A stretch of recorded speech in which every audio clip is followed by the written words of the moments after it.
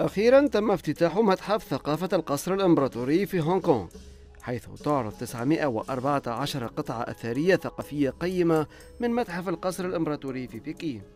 وعند التجول في قاعات العرض التسع سترى اللوحات والخط الصيني والكتب النادرة وقطع الخزف الفاخرة التي يمتد تاريخها لأكثر من خمسة ألاف عام. كلها تعكس عظمة الفن والثقافة الصينية القديمة. سيتم عرض بعض القطاع لمدة شهر واحد فقط لتجنب التلف المحتمل من الضوء والرطوبة. أما المعروضات الأخرى فيمكنها البقاء في هونغ كونغ لأكثر من عام. هناك أيضا قسم مخصص للمعروضات المتعلقة بالفن الصيني التي تحتفظ بها هونغ كونغ. بالإضافة إلى منشآت وسائط متعددة مستوحاة من متحف القصر الإمبراطوري في بكين.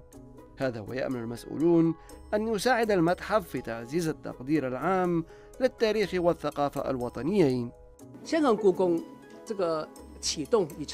يعد متحف الثقافة القصر الإمبراطوري في هونغ كونغ على محامل المدينة حيث سيكون لسكانها الآن مؤسسة دائمة لتقدير الأثار من متحف القصر الإمبراطوري في بكين.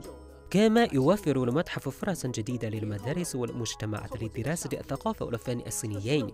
لكن الأهم من ذلك نريد تعزيز التبادلات الثقافية مع بار رئيسي ورواية القصص الصينية للجمهور الدولي. نتوقع أن نستقبل 1.5 مليون زائر للسنة الأولى ومليوني زائر في كل سنة بعد ذلك.